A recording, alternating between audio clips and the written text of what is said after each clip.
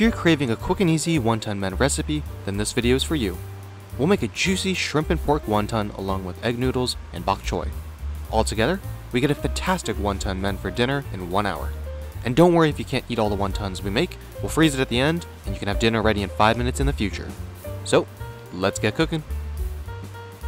In a large bowl, use scissors to cut up one bunch of garlic chives, one bunch of green onions,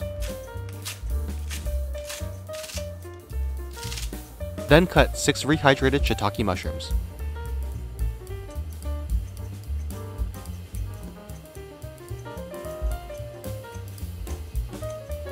and cut about 1 pound of medium shrimp into halves. Then add 2 pounds of ground pork. Notice we're using scissors rather than a knife. I find it's just faster if you don't have time to clean everything up. Next, add 2 tablespoons of soy sauce, 1 teaspoon of sesame oil, 2 tablespoons of oyster sauce, and 2 tablespoons of cornstarch. Mix it all together until we get a nice juicy and bouncy filling.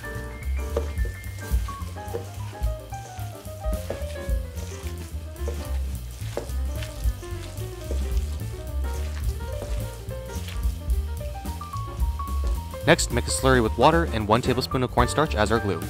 In a medium thick wonton wrapper, add about 1.5 tablespoons of filling. Then wet two edges as seen and fold in half.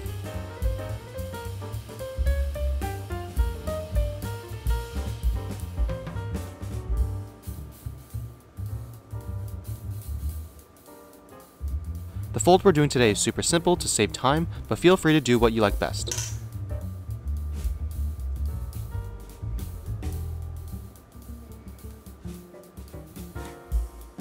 We'll end up pulling together the two opposite edges to the one corner, and that's it. Put this aside and rinse and repeat.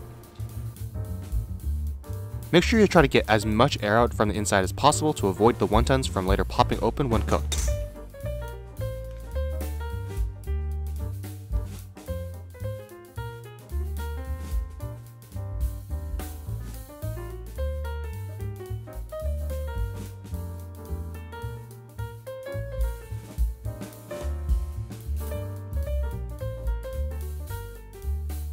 This recipe makes about 45 wontons.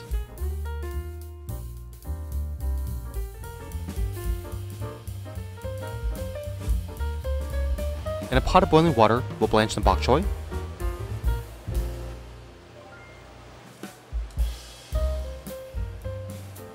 then cook our noodles,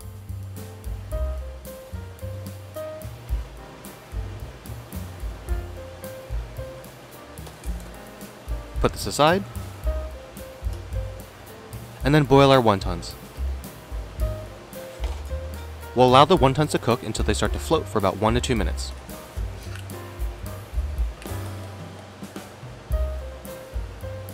And boom, we have a quick and easy wonton mein dinner.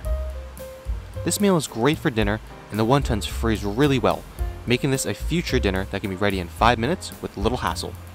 The garlic chives in particular are my favorite ingredient to use, so be sure to give that a try and also let me know in the comments below what your favorite wonton style is.